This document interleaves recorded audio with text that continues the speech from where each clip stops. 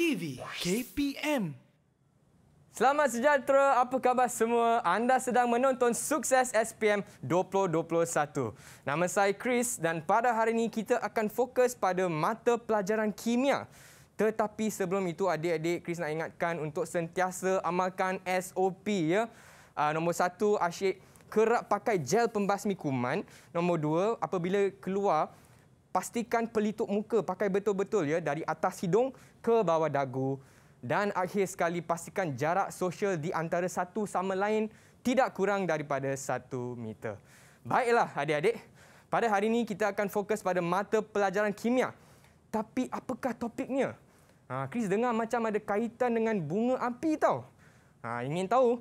Sebelum itu, jom kita saksikan profil guru untuk hari ini.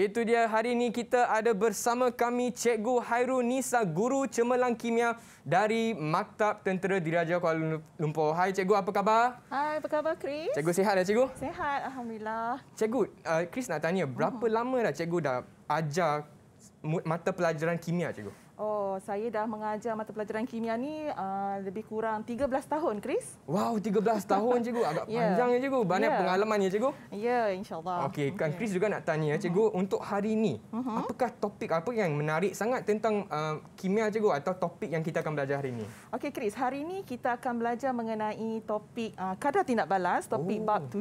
Okay. Uh, dia merupakan uh, topik dalam silibus kimia tingkatan 4. Hmm. Ah, okey. So di mana topik ini sebenarnya Chris, okay. ianya sangat-sangat menarik eh untuk murid-murid di luar sana. Ianya sangat menarik okay. kerana ianya ada beberapa eksperimen yang akan kita lakukan. Okey, sebenarnya eksperimen ini cikgu dah tunjuk dah masa slot mahir hari itu. Semua murid boleh tengok balik ah, dan okay, okay. Uh, topik ni dia uh, kata apa? Uh, mudah difahami kerana ianya berkait dengan kehidupan harian kita. Jadi, murid-murid di rumah dan di dalam talian sekarang ni jangan pergi ke mana-mana. Hmm, Tonton jangan. kita, Chris, hmm. sebab cikgu ada nak kongsikan tips-tips menarik untuk senang ingat. Wow, ah. Chris pun dah tak sabar ni. Tapi sebelum itu cikgu, uh-huh. mari kita bawakan anak-anak murid cikgu atas uh-huh. talian Google Meet juga uh-huh. putra-putra hari ini. Hai semua. Apa khabar? Hai. Hai. Baiklah, ini dia putra-putra dari Maktab Diraja Maktab Tentera Diraja Kuala Lumpur. Baiklah, jom kita perkenalkan ya. Mungkin boleh mula dengan Hafiz. Hafiz Anaki. Putra Hafiz. Oh, oh, Putra Hafiz mungkin you punya mic belum buka lagi. Okey. Okey, okay. tidak apa. Uh-huh. Sementara tunggu untuk uh, Putra Hafiz uh, baiki mic dia mungkin boleh pergi ke Kaizen. Putra Kaizen. Uh-huh. Hai semua, saya 389, 385, Putra Ganan Fang Kaizen dari Company Foxtrot dan cita-cita saya adalah menjadi seorang jurutera Perisia. Baiklah, seterusnya Tajendra, putera Tajendra. Hai rakan-rakan, saya 389, 387, putera kanan Tajendra Katirawan dari company Foxtrot. Cita-cita saya menjadi seorang jurutera mekatronik. Wow, dan seterusnya putera Iqbal. Hai kawan-kawan, Nama saya Putra Kanan Iqbal Syokir Bengkaro Azman dari company Foxtrot. Cita-cita saya ingin menjadi pegawai tentera udara. Alright. And uh, seterusnya kita ada Putra Fawaz. Assalamualaikum warahmatullahi wabarakatuh. Saya 436905 pemangku Putra Sarjan Muhammad Fawaz Najib Berustam dari company Eco dan cita-cita saya untuk menjadi seorang jurutera elektronik. Baiklah, seterusnya uh, Putra Haikal. Hai kawan-kawan yang di rumah. Saya 436927. Putra kanan Muhammad Haikal bin Johari dan cita-cita saya ingin menjadi cikgu. Alright, dan Chris juga nak check dengan Putra Hafiz. Anaki. Uh, uh, Putra Hafiz Anaki. Mike, okey tak? Okey, Ti- tidak apa, tidak apa. Um, cikgu, uh, Ya. sementara tunggu Putra Hafiz untuk uh-huh. baiki dia punya mic. Ya. Uh, apa kata kita sebelum mula kelas untuk hari ini uh-huh. untuk amalkan SOP, cikgu boleh tak? Okey, boleh. Alright, so Chris nak ajak cikgu ke meja Alright, saya ini. terima kasih Chris. Dan untuk uh, pakai gel pembasmi Okey. kuman terlebih dahulu. Alright. Chris pun nak pakai Okey. sikit. Mhm. Dan sepanjang kelas untuk hari ini, uh, Mhm. cikgu dengan Chris akan um, kekalkan pelitup muka ya cikgu? Ya, betul. Kita kena jaga SOP tu eh, Chris. Betul cikgu. Okey. Alright, uh, cikgu apa kata kita berehat seketika? Boleh. Mungkin boleh bagi masa untuk Putra Hafiz Anaki untuk baiki mic dia juga. Boleh? Baiklah dan anda di rumah jangan ke mana-mana. Kita akan kembali lagi ke Sukses SPM 2021. Bismillahirrahmanirrahim. Assalamualaikum warahmatullahi taala wabarakatuh. Saya 436974 Putera Kanan Muhammad Dinis Saras bin Muhammad Zahirul dari Maktab Tentera Diraja Kuala Lumpur. Saya amat berminat dengan tajuk kadar tidak balas ini kerana tajuk ini amat mudah untuk difahami dan memudahkan saya untuk skor dalam peperiksaan. Harapan saya dalam peperiksaan SPM 2021 ini adalah saya dan rakan-rakan dapat mendapat keputusan yang cemerlang setimpal dengan hasil usaha kami dan dapat membanggakan kedua ibu bapa kami. Didik TV KPM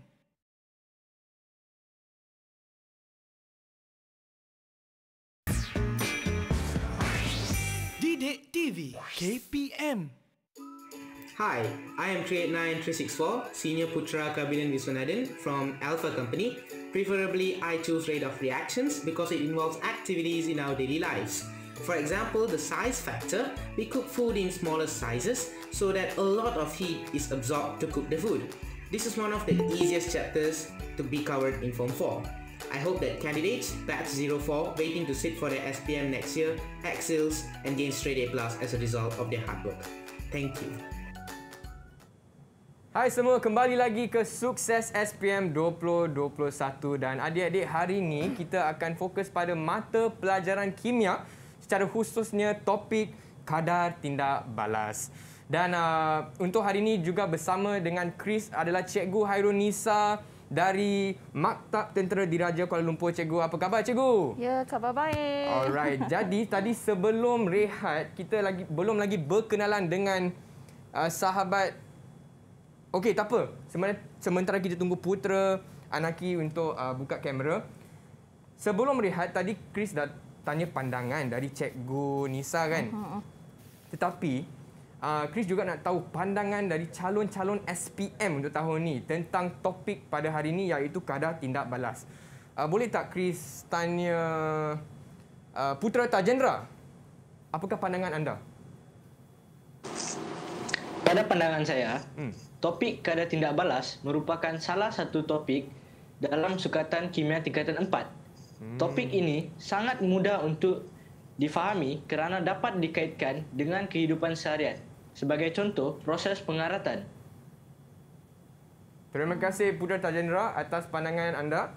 Uh, seterusnya mungkin Chris nak tanya um, Putra Haikal. Putra Haikal? pendapat saya pula. Okey. Ya, ya saya. Alright. Okay. Dipersilakan Pada pendapat saya pula. Pada pendapat saya pula, seperti yang Tajendra cakap tadi, Hmm.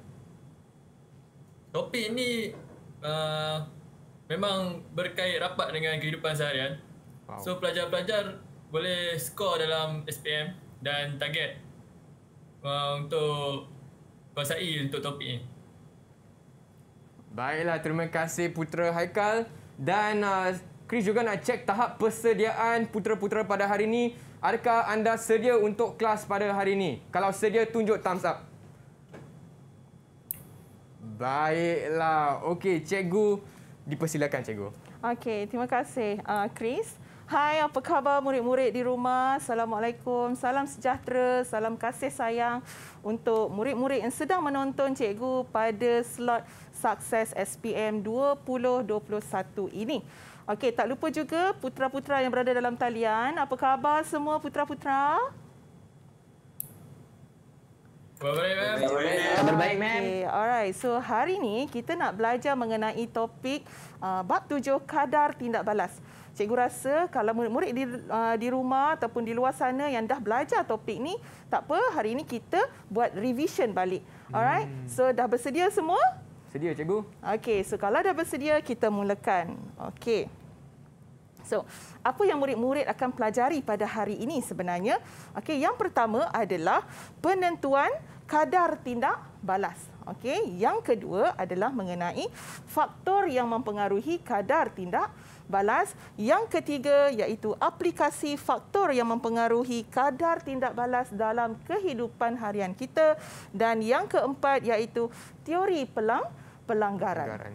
Okey, seterusnya, okey, dalam kehidupan harian kita ya Chris, hmm. kita ada banyak tindak balas di sekeliling kita. Ah. Okey, di sini okay. cikgu nak terangkan kita ada tindak balas cepat dan kita juga ada tindak balas yang berlaku secara perlahan. Okey Chris, okay, so cikgu tunjuk dulu kita nak pergi pada pengkelasan tindak balas ini sebenarnya. Okey, kita ada yang pertama iaitu kalau tindak balas cepat pembakaran bunga api. Hmm. Nah, berdentam-dentum kita dengar kan. Waktu bila kita dengar selalu Chris bunga api ni? Uh, hmm. waktu tahun baru Cina waktu ah, raya. Yes, very good. Pandai Chris. So itu antara salah satu contoh tindak balas cepat. Seterusnya kita ada yang kedua nyalaan mancis, yang ketiga tindak balas sel elektrik dan yang seterusnya kita ada pembakaran pembakaran gas. Hmm. Okey, itu antara contoh bagi tindak balas cepat. Okay. Chris, boleh tak Chris bagikan cikgu contoh satu lagi oh. apa antara tindak balas cepat yang Chris rasa pernah tengoklah? Hmm, Chris hmm. rasa cikgu letupan Ha, Betul, letupan pandai. Letupan pun adalah salah satu daripada tindak balas ah, okay. yang berlaku dengan cepat. Okey, seterusnya kita nak tengok pula tindak balas yang berlaku secara perlahan. Hmm. Okey, apa antaranya? Okey, tadi Putra Tajendra ada cakap kan, uh, salah satu uh, daripada tindak balas ataupun kadar tindak balas itu adalah pengaratan pengaratan besi. Memang dia ambil masa yang yang lama Betul, untuk berkarat. Seterusnya kakisan batu ataupun pembentukan stalaktik, stalagmit kan semua tu memang ambil masa yang lama so tindak balas berlaku secara perlahan. Seterusnya proses fotosintesis. Hmm. Okey, okay. uh, so yang Uh, keempat, ya, ini saya pun suka makan uh, Chris, tapai. Okey, proses penapaian mengambil masa uh, mungkin dua ataupun tiga hari. Saya tak pandai lah nak masak, tapi saya suka makan. Sama juga, saya pun uh, Sama ya, Chris. Uh, Okey, so hari ini kita sebenarnya nak belajar mengenai kadar tindak balas. Okey, yang cikgu nyatakan ini adalah tindak balas. So kita nak kaitkan apa sebenarnya itu kadar tindak balas. Okey, so kita nak tanyalah kepada putra-putra yang berada di dalam talian bersama ha. dengan kita sekarang ni kan. Okey, okay, boleh tak kita kongsikan ataupun putra kongsikan dengan murid-murid di luar sana, apakah yang dimaksudkan dengan kadar tindak malas? Ah, kadar. Ini tindak malas. Kadar tu maksudnya apa? Ah, nampak Putra Tajendra dah angkat tangan. Okey, Putra Tajendra, silakan. Per, uh, maksud kadar tindak balas ialah perubahan kuantiti hasil tindak balas mengikut masa yang tertentu. Ah, okey. Maksudnya perubahan kuantiti bahan tindak balas ataupun hasil tindak balas kita bahagikan dengan masa yang kita ambil untuk perubahan itu ber berlaku. Jadi, cikgu nak tanya Tajindra kan, apa yang dimaksudkan dengan kuantiti bahan itu ataupun kuantiti hasil tindak balas? Kuantiti itu Tajindra. Kuantiti boleh dimaksudkan sama ada jisim, uh-huh. isi padu, uh-huh ataupun kepekatan. Okey, bagus. Wow, Maksudnya murid-murid di luar sana, okey kuantiti dekat sini membawa maksud jisim ataupun isi padu ataupun kepekatan. Dari segi perubahan pula uh, sama ada tindak balas itu ataupun uh, kuantiti itu bertambah ataupun berkurang. So kita tengok sekejap lagi Chris.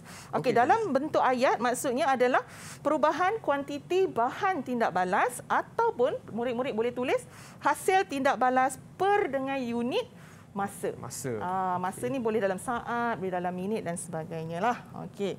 So seterusnya, okey, so cikgu highlightkan penting lah sebab kadang-kadang ditanya dalam exam eh, hmm. apakah yang didefinisikan dengan kadar tindak balas. Okey, catat eh murid-murid kat rumah tu.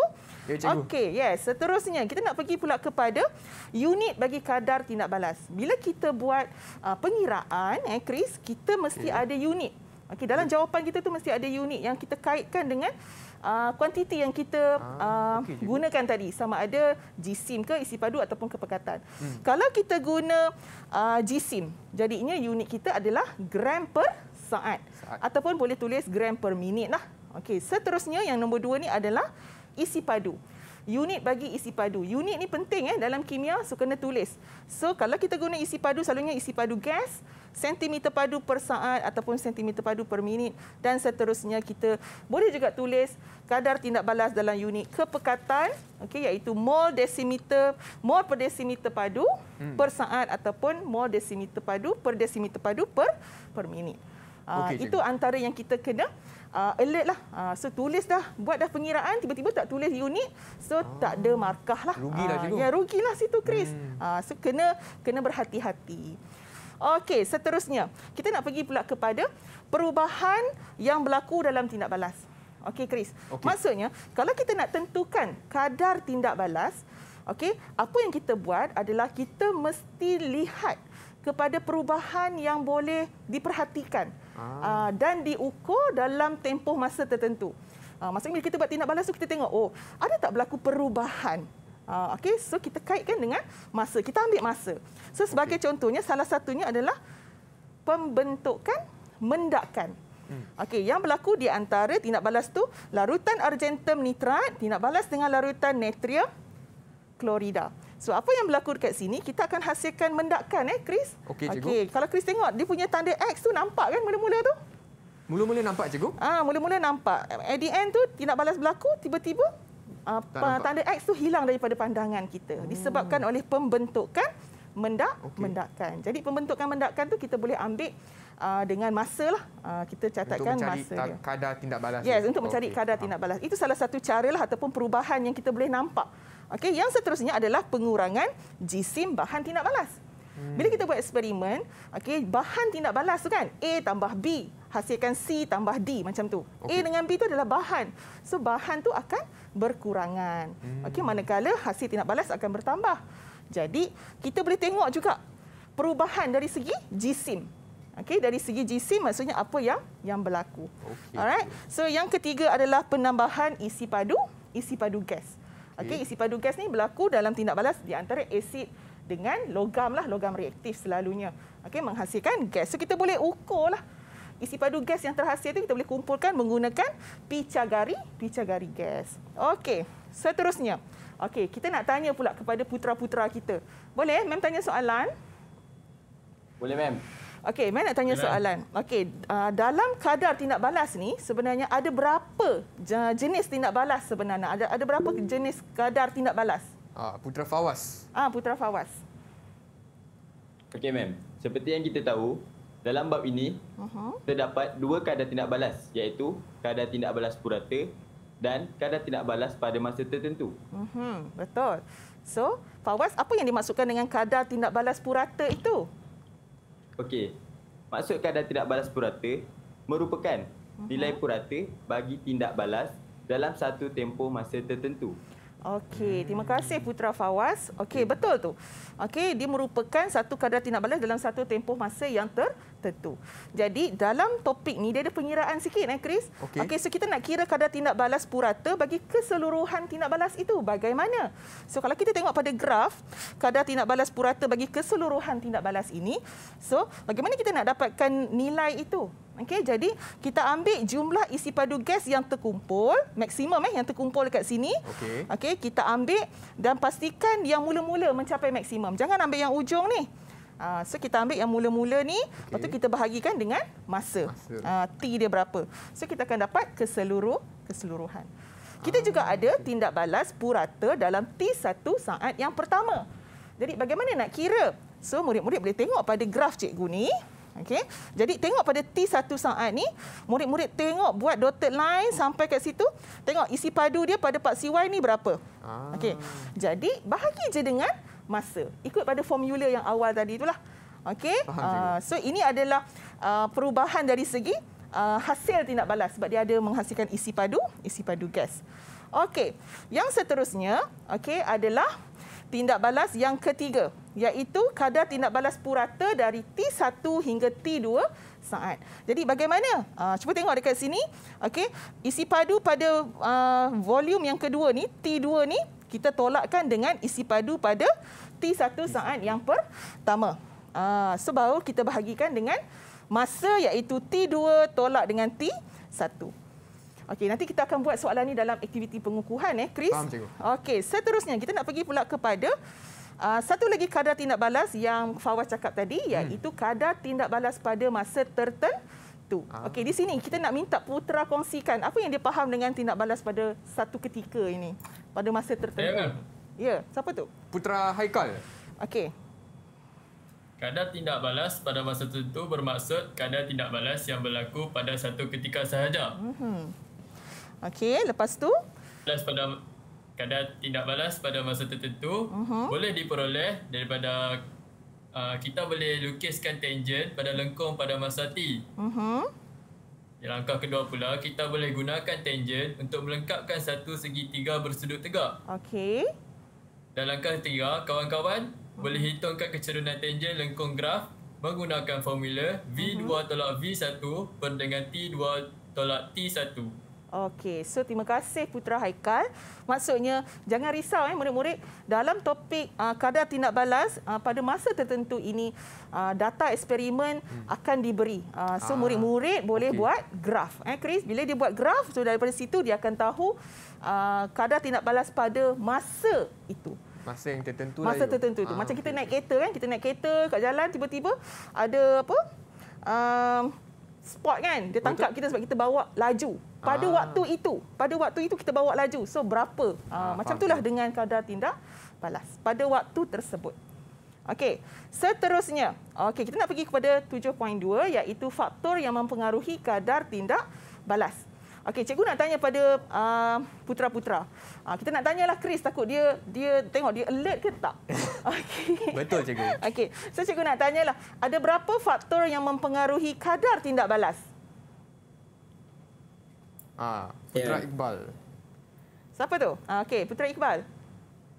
Faktor yang mempengaruhi kadar tindak balas ni, uh-huh. kita boleh lebih ingat dengan KSSM iaitu kepekatan, uh-huh. saiz bahan, uh-huh. suhu dan mangkin.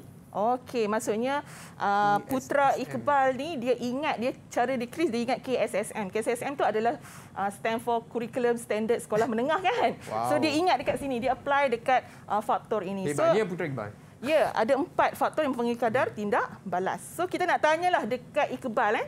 Okey, antara empat faktor ni tadi, Okey, cuba sebutkan salah satu faktor yang mempengaruhi kadar tindak balas. Bagaimana ianya mempengaruhi kadar tindak balas? Boleh, Chris?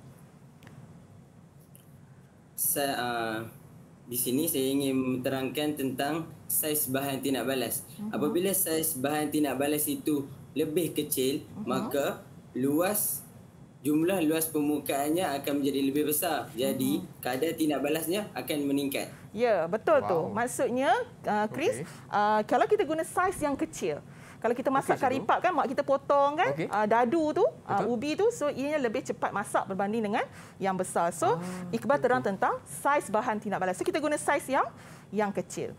Okey, seterusnya, kalau tengok dekat sini kan, saya boleh rumuskan baliklah. Hmm. Kadar tindak balas itu akan meningkat sekiranya apa? Okey, kalau faktor yang pertama iaitu kepekatan. Okey, kepekatan bahan tindak balas mesti meningkat ataupun dia lebih pekat. Ha, jangan guna yang cair. Sebab apa? Sebab bilangan zarah per unit isi padu telah bertam bertambah. Okey, dari segi saiz. Saiz pepejal macam Iqbal cakap tadi tu mestilah hmm. dalam keadaan kecil, berkurang. Okey, kenapa? Kerana jumlah luas permukaan tu. Okey, bagi bahan tindak balas yang terdedah okay. kepada pelanggaran akan bertambah bertambah dan seterusnya suhu. Okey, siapa nak terang tentang suhu? Ada yang nak terang tentang suhu? Ada tak putra-putra? Ah, putra Kaizen. Okey, Kaizen. Nak. Uh, saya nak cuba dengan suhu sebab apabila suhu bahan tindak balas meningkat, uh-huh. Tenaga kinetik zazra akan meningkat juga. Okey. Uh, dengan dengan itu kadar tindak balas juga akan meningkat. Okey, very good. So kita ada yang seterusnya mangkin. Okey, mangkin dekat sini. Okey, kalau mangkin tu hadir. Okey, apa yang berlaku? Uh, dia akan meningkatkan kadar tindak balas. Kenapa? Kerana okey, ke, dia uh, mungkin itu menyediakan lintasan alternatif dengan merendahkan tenaga pengaktifan. Itu saja Chris untuk kami. Baiklah cikgu. Okay. Uh, cikgu Chris tengah salin nota. So uh, boleh tak cikgu uh, imbas kembali sikit? So sekarang kita baru belajar tentang faktor yang mempengaruhi kadar tindak balas. Ya, betul. Dan seperti Chris. yang Putera Iqbal dah kongsi tadi KSSM kan Yes. cikgu? Mm-mm. Okey, Chris nak salin. Okey, Ya, sementara KSSM. Chris salin nota cikgu, boleh tak kita berehat seketika? Okey, boleh Chris? Alright, dan adik-adik di rumah jangan ke mana-mana. Kita akan kembali lagi ke Sukses SPM 2021. Salam sejahtera kepada para penonton yang dihormati sekalian. Saya Kadirawan Subramaniam, ayah kepada 389-387 Putera Kanan Tajendra Kadirawan daripada Batch Gravers.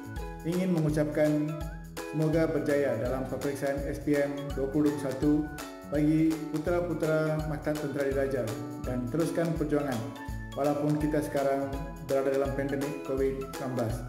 Jangan berputus asa dan semoga berjaya. Didik TV KPM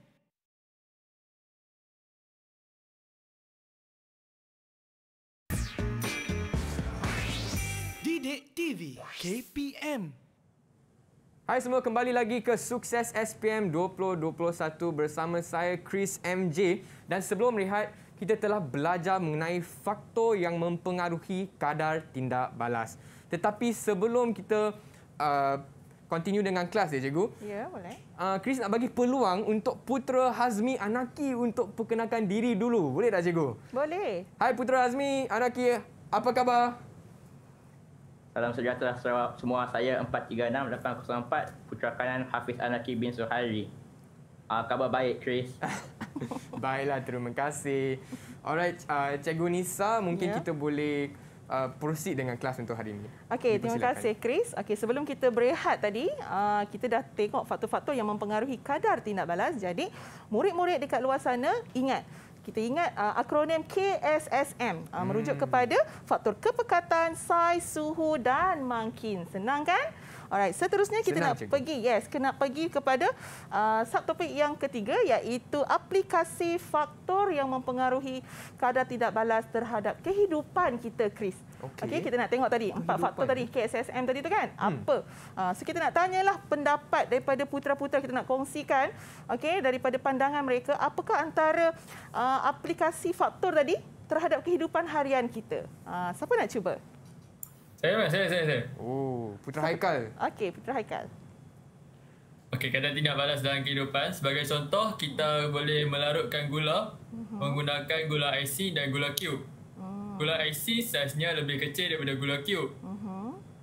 Jadi, gula IC akan melarut lebih cepat berbanding gula cube. Okey, terima kasih Putra Haikal. Okey, Chris, maksudnya Putra Haikal ni dia sedang memberitahu ataupun menjelaskan tentang faktor saiz. Uh, saiz besar dengan saiz kecil. Gula cikgu. uh, gula cube dengan gula biasa tu kan, gula pasir tu. Ha, okey, so mana yang lebih cepat melarut? Okey, seterusnya ada contoh lain? Ada siapa lagi nak bagi contoh? Uh, saya, ma'am. Okey. Putra Naki. Ah, Anaki, yes, Anaki. Uh, contoh yang lain, ma'am, kita boleh tengok apabila kita menggunakan air panas masa membancuh air kopi. Oh. Menggunakan air panas dapat melarutkan serbuk kopi itu dengan lebih cepat sebab dia mempunyai tenaga kinetik yang lebih banyak. Oh, betul. Ah, okey. Terima kasih Putra Anaki. Itu daripada pandangan diorang eh, Chris. Maksudnya itu yang diorang buat dalam kehidupan harian. Hmm, betul, Maksudnya betul. melarutkan air kopi tu dia Chris tu Chris. Okey. Macam cikgu cikgu suka air Milo. So kita gunakan Hmm. air yang dalam suhu yang agak uh, tinggilah berbanding yang suhu biasa, suhu Faham, bilik cikgu. dan sebagainya. Okey, so kita nak pergi kepada uh, satu contoh Ah, uh, soalan kebat okey. Uh, dalam tahun SPM 2018 uh, di mana dalam topik ini kita kadar tindak balas dia tanya rajah 1.2 menunjukkan dua situasi membanggang 500 gram daging. So dalam situasi manakah? Situasi A ke situasi B? Daging itu akan cepat masak. Okey saya nak tanya Chris dulu. Chris rasa? Chris rasa ha. sate yang akan masak lebih cepat cikgu ah sebab sate. saiz saiz dia. saiz dia lebih ah, kecil. okey so kita tengok apa pula pandangan ataupun jawapan daripada putra-putra kita Alright, siapa nak cuba? ah Saya nak cuba Alright, Putra eh? Tajendra. Ah, Tajendra. Okey, Tajendra. Saya rasa kan Hmm. uh, daging dalam situasi A akan lebih cepat masak berbanding daging dalam situasi B. Oh, okey. Samalah macam Chris. Ah, Tajendra kata situasi A lebih cepat masak berbanding situasi B. Bagaimana dengan murid-murid di luar sana? Ah, adakah sama Uh, so kita tengok jawapan dia. So kenapa eh Tajendra? Okey, kenapa saiz di situasi Point. AA tu? Sebab uh-huh. poin pertama, saiz daging dalam situasi A Uh-huh. lebih kecil berbanding saiz daging dalam situasi B. Okey, situasi A. Poin kedua, Uh-huh. Okay, poin kedua jumlah luas permukaan Uh-huh. daging dalam situasi A lebih banyak berbanding jumlah luas permukaan daging dalam situasi B. Okey. Luas permukaan. Dan Okey. seterusnya? Oleh itu, Uh-huh. uh, daging dalam situasi A akan lebih cepat menyerap haba Ah, berbanding daging dalam situasi B. Okey, good. Jom kita tengok jawapan dia. Betul tak, Chris? Ha, kan dekat sini dia kata daging dalam situasi A lebih cepat masak lah dapat satu markah. Okey kerana apa? Jumlah luas permukaan daging dalam situasi A itu tadi lebih besar. Ah. Okey, jadi daging dalam situasi A tadi tu akan menyerap lebih banyak karbohidrat. So kita tengok sate tu lebih cepat masak lah berbanding daging yang kita dalam keadaan saiz yang besar lah. Betul. Okey, so betul tak Chris? Uh, itu yang cikgu cakap kita berkait dengan kehidupan harian kita. Ah, so cikgu, Ah. jadi Putra Tajendra sudah dapat tiga markah Ya, tadi? yeah, Putra Tajendra Wow, sudah dapat hebat. tiga markah. Okey, ha, so cikgu. bagus. Tahniah diucapkan. Okey, sekarang kita nak pergi ke pula kepada satu teori. Ah, Okey, dalam topik kada tindak balas ni iaitu teori pelanggaran. Okey, apa yang dimaksudkan dengan teori pelanggaran? Ha, kenapa kena uh, tahu tentang teori ini? Okey, cikgu terangkan kat sini. Menurut teori pelanggaran, sebenarnya, okey, Chris catat eh, bagus Chris. Murid-murid di luar sana pun kena buat macam uh, abang senang, Chris kita senang ni. boleh buat rujukan ya, cikgu. Ya, eh, boleh buat ni. rujukan. Bagus. Okey, so pertama, zarah bahan tindak balas mesti berlanggar antara satu sama lain. Zarah-zarah tu mesti berlanggar di antara satu sama sama lain. Hmm. Okey, so kadar tindak balas sebenarnya bergantung juga kepada frekuensi pelanggaran berkesan. Ah, tadi dia berlanggar kan Chris? Sekarang ni okay. kita nak tengok frekuensi pelanggaran berkesan tu apa dia? Apa benda? Ah, kan? Apa yang dimaksudkan? So, sebenarnya frekuensi pelanggaran berkesan itu okey adalah merujuk kepada zarah Okey, zarah-zarah yang berlanggar, okey, di antara bahan tindak balas tadi itu bahan tindak balas A, tindak balas B, zarah-zarah dia. Okey. Okey, dalam keadaan atom ke, okey, boleh berlanggar di antara satu sama lain dan mesti mencapai tenaga yang sama ataupun melebihi suatu tenaga pengaktifan.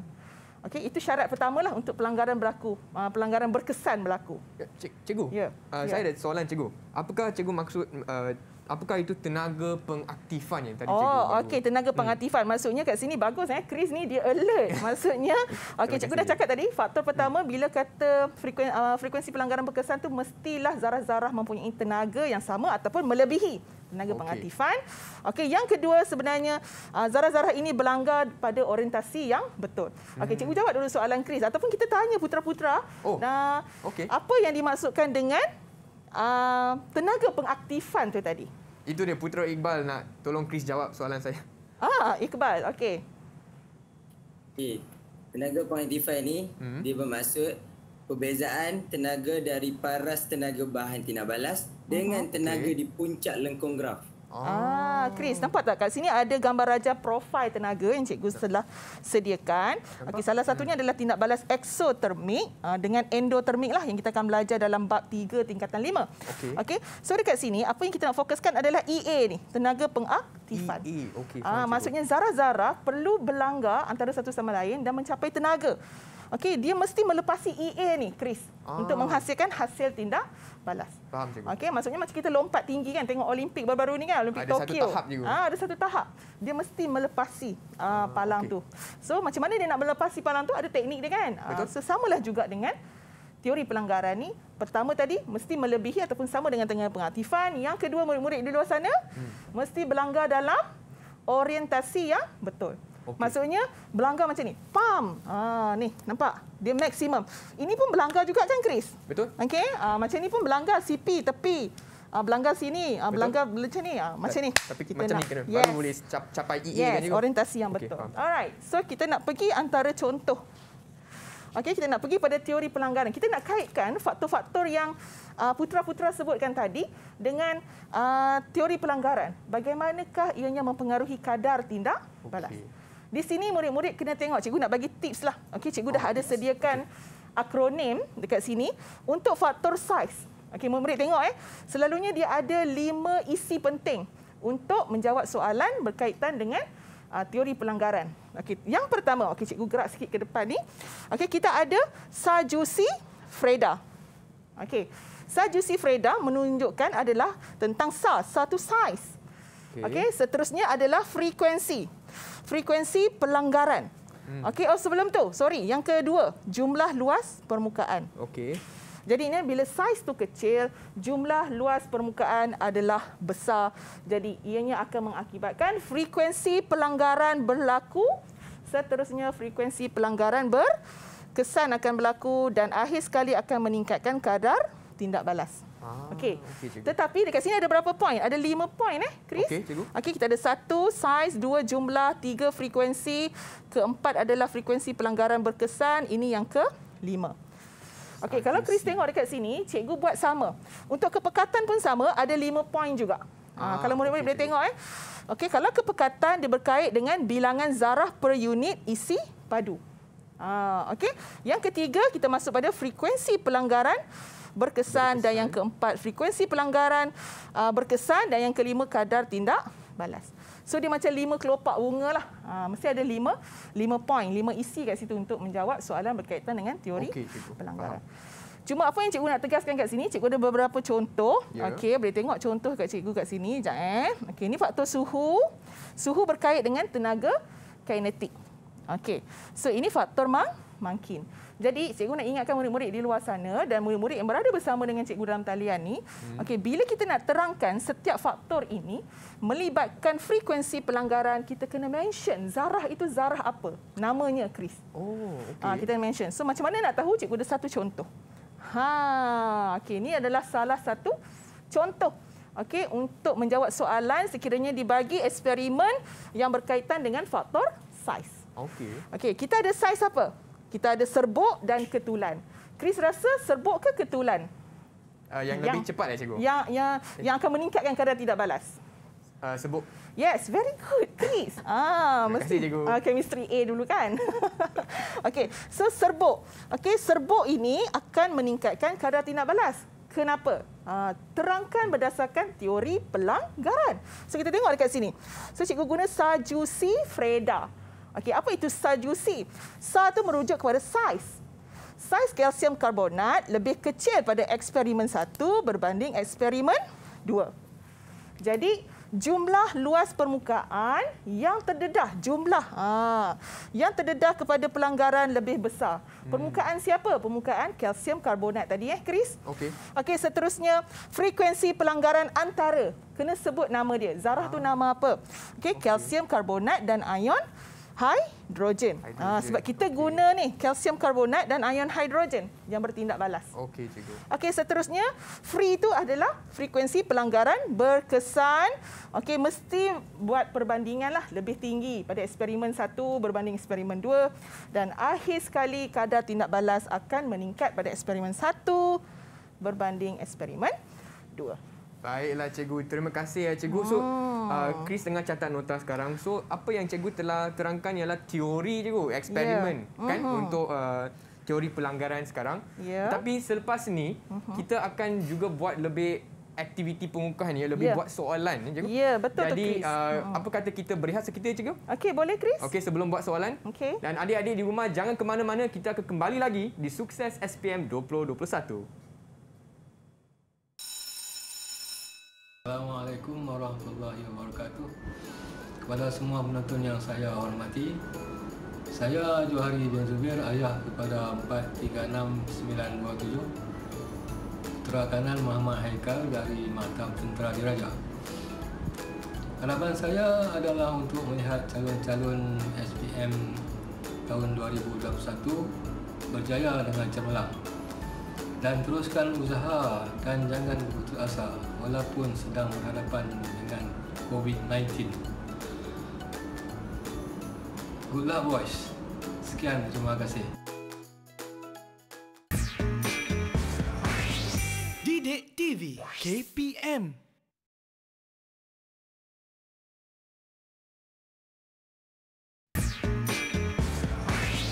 Didik TV KPM Hai semua, anda sedang menonton Sukses SPM 2021 dan sebelum melihat tadi, Cikgu Nisa telah pun terangkan mengenai teori pelanggaran. Hmm. Tapi sekarang Chris dah tak sabar nak buat aktiviti pengukuhan. Tapi Chris juga nak tanya uh, rakan-rakan sekelas saya, semua dah sedia tak kalau sedia kasih thumbs up macam ni? Dah sedia tak? Alright, baiklah. Uh, Cikgu Nisa apa kata kita mulakan uh, aktiviti pengukuhan untuk hari ini? Okey, terima kasih Chris. Okey, nampaknya Chris dan putra-putra semua dah bersedia untuk jawab soalan Ya, pengukuhan. So cikgu harap murid-murid di rumah sana pun uh, bersedia dengan pen dan kertas lah untuk kita jawab soalan sebab dia melibatkan uh, pengiraan sikit. Okey, soalan yang pertama kalau tengok dekat sini. Okey, apakah yang dimaksudkan dengan kadar tindak balas? Okey, kita buka peluang kepada putra-putra untuk uh, berkongsi jawapan. Siapa nak cuba? Uh, saya, ma'am. Okey. Putra Anaki. Uh, saya rasa jawapan yang paling tepat B, ma'am. Okey, jawapan dia B iaitu peningkatan kuantiti hasil tindak balas per unit masa. Okey, hmm. jadi kita tengok.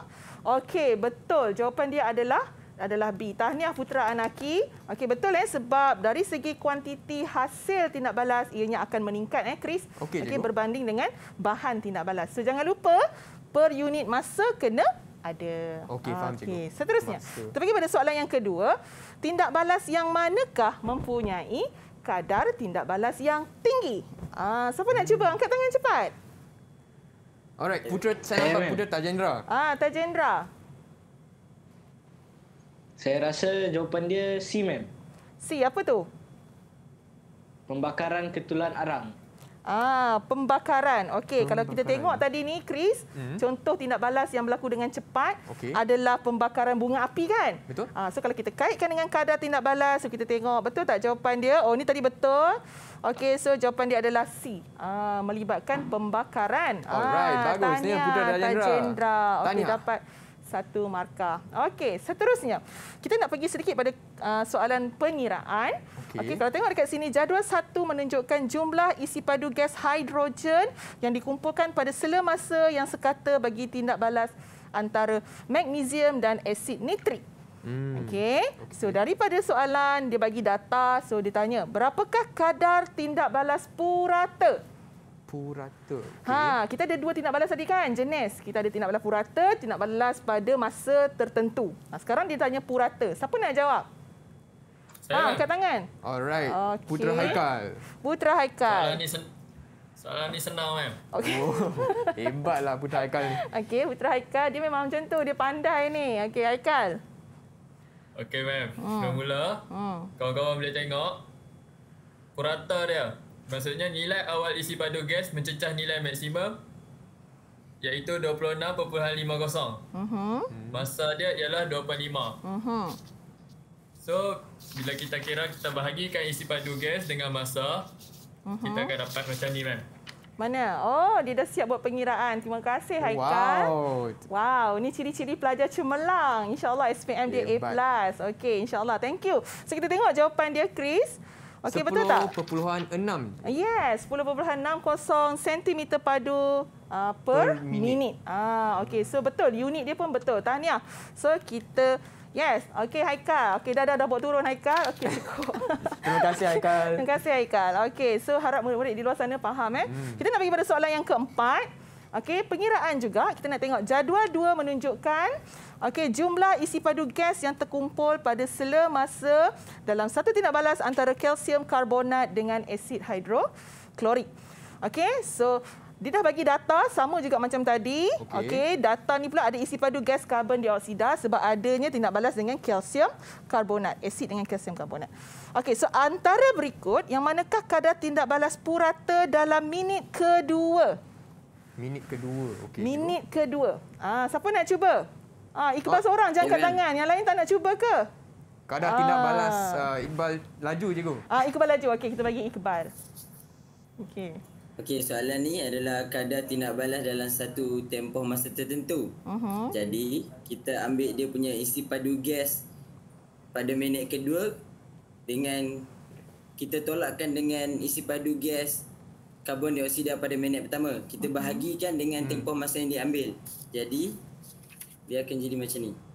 Macam mana tu? Ah, nampak tak tu? Boleh ke? Okey, boleh cuma dia terbalik sikit Oh, kan. mungkin dia punya kamera dah mirror mirrorkan dia boleh dah. Ah, okey, okey, tak, apa. Okey, so bagaimana so dia dapat jawapan berapa tu Iqbal? B, ma'am. B. Okey, kita tengok jawapan dia. So iaitu yes 0.208 cm padu per saat. Tahniah Iqbal. Okey, so maksudnya uh, pada minit kedua isi padu pada minit kedua tolak pada isi padu minit pertama. Okey, kita nak teruskan pada soalan seterusnya. Okey, ini soalan struktur. Okey, kalau tengok kat sini dua eksperimen telah dijalankan untuk mengkaji kadar tindak balas apabila zinc bertindak balas dengan asid nitrik. Hmm. Okey, jadi jadual tiga menunjukkan keputusan bagi eksperimen satu dan eksperimen dua. So kalau kita tengok pada data ni, kita kaji, kita analyse kan, kita analisis dia. So kita melibatkan faktor apa ni Chris? Uh, kalau tengok dekat sini. Faktor apa dekat sini? Faktor Dia su, uh, suhu je. Ah, suhu pandai Chris. So kita ada suhu 30 dan 40. So dekat sini soalan dia tanya. Hmm. Berdasarkan eksperimen ini, mak, Okey. nyatakan maksud kadar tindak balas. Okey, Oh. kita nak minta putra-putra cuba. Saya, ma'am. Ah, Kaizen, Putra Kaizen. Ah, Kaizen. Kaizen. Okey, Kaizen cuba. Hmm, peningkatan isi padu gas hidrogen yang terkumpul per unit masa. Okey, peningkatan gas hidrogen per unit masa dia kata.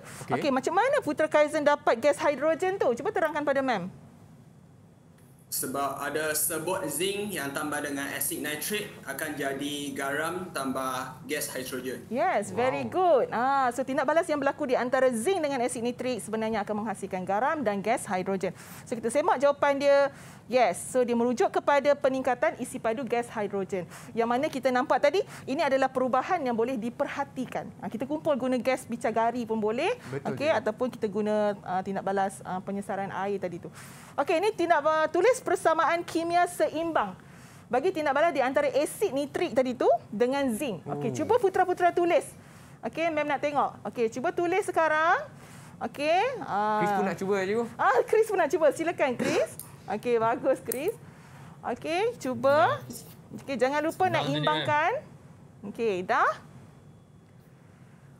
Senang eh? Siapa siapa kata senang tadi? Ah, Iqbal kata sikit, senang. Nak, nak, nak, sikit boleh tak? Okey, boleh tunjukkan jawapan. Ah, Abang Chris nak tengok jawapan Ya, korang. Zat, Abang Chris tak tahulah macam mana nak imbangkan Ah, tu. Abang Chris dah lupa. Okey, tak apa. Tunjukkan jawapan masing-masing. Okey, saya pun copy lah. Okey, kalau tengok di paparan skrin, betul ke? Okey, jom kita semak jawapan. Okey, betul tak Chris? Sekejap eh. Ah. Tunjuk masih tunjuk eh. 2H 2HNO3 Ha. tambah zinc, Zinc hasilkan zinc, Zinc. ZnNO3 bracket 2 tambah, Tambah H2. H2, Okey, dapat dua markah Chris. Ah, dapat dua markah.